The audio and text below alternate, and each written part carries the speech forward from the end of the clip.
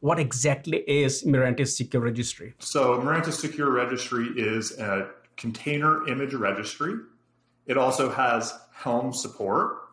Um, we have uh, role based access control that hooks into your enterprise authentication and authorization framework, whether that's LDAP, SAML, or OIDC. Uh, we also have full image scanning and promotion policies. So this allows security personnel to create a sort of staging area for images as they're built. They run through our scanner.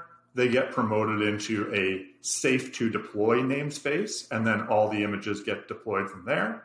Um, we also have the possibility to create a secure supply chain, which I think Kevin will speak about a little bit more.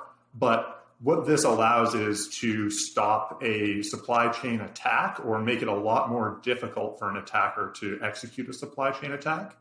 And finally, there's a number of hooks for integrating into your organization's custom processes so you can be notified when certain uh, things happen to the registry. Chris, uh, can you also talk about what are the key benefits and features of MSR? We have the, the registry itself, but there's also the Helm support. Um, Helm images or Helm charts are scanned for security issues, and those can uh, limit their whether or not they're deployed. Um, the role-based access control with enterprise integration. This allows you to sort of, if you're an LDAP user, maintain all your users and all your rules in LDAP, and they can be mapped into MSR. The uh, image scanning capabilities, the promotion pipelines that you can create to ensure that CVEs aren't released into your production environment.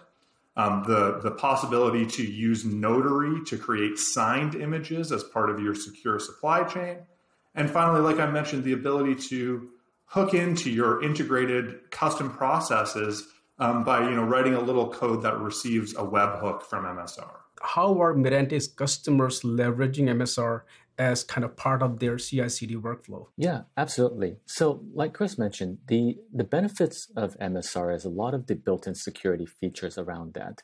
So, if you think of the the typical pipeline, customers will build their code and their their container images, and then MSR then set, uh, serves as a local uh, image repository.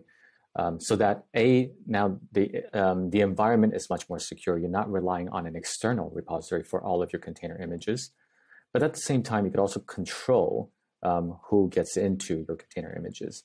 So in terms of their pipeline, the, the images are now stored within MSR, and that becomes a single source of truth for everything being deployed into their environments, whether it's their test environment, their pre-prod integration, or even a production environment.